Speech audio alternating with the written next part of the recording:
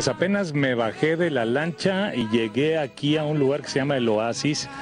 Ay, Dios mío, miren nada más, con razón ese olor me trajo desde allá. Y estoy aquí con, con Lupita Castillo, es, es, es su nombre. Sí, así es. Lupita. ¿Qué es esto, Lupita? Porque huele muy rico. Un filete relleno, pues es la especialidad de la casa y es lo que hace que vengan muchos turistas a nuestro lugar. Filete relleno. A ver, porque se ve esto muy tentador y además muy llenador, porque está demasiado grande. ¿Qué es lo que lleva? Pues este va más que nada va con filete, tomate, cebolla, cilantro, los ingredientes, eh, la pimienta, el sazonador con que se le da el sabor, este mantequilla, ajo y ya posteriormente se pone a cocer A cocer. Bueno, vamos a ver por pasos. ¿Es filete de qué? de trucha o De tru- depende lo que el cliente pida. O sea, es depende de lo que el cliente pida. Entonces, en este caso aquí es filete de trucha, Así es. ¿verdad?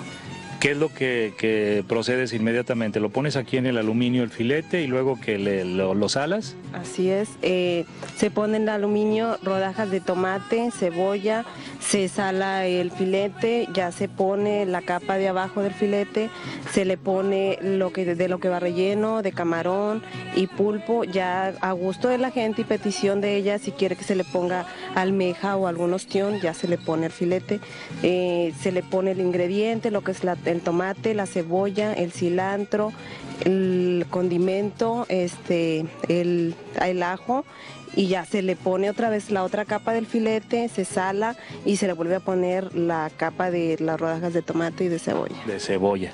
Y lo que veo también, aquí hay queso. Así es, echa ¿También? también. Ajá, queso. O sea que es un alimento muy completo. Porque yo me imagino que con esto para dos o tres personas. Mm, Claro que sí, este, pues depende el, cada persona y hay mucha gente que lo pide para, para una sola persona y ya con eso se va lleno y ya no pide más otra cosa o a veces es para compartir o igual lo piden para el centro de la mesa y ya de ahí comparten todos. Filete relleno. ¿Qué les parece a ustedes? Pues Lupita, me voy a tener que sacrificar porque donde voy tengo que probarlo. Y esto se ve pues muy tentador realmente. No lleva nada, ni sopita, ni papitas, ni nada. Ya esa petición de la gente, De la si- gente. ajá, ya si piden la guarnición ya se le pone. No, si esto es para tres días o cuatro. Muchas gracias, Lupita. Muchas gracias. ¿Gustan ustedes? Ay, qué sabroso seguís aquí en el Morón. Aldama, Tamaulipas. Continúa. Reportajes de Alvarado. Pobre de mi copetón.